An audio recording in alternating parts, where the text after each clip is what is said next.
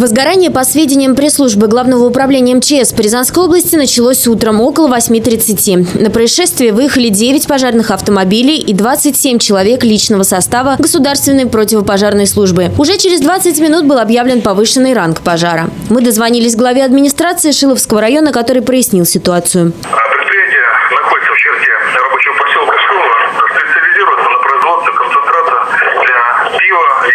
Что была такая активность в соцсетях,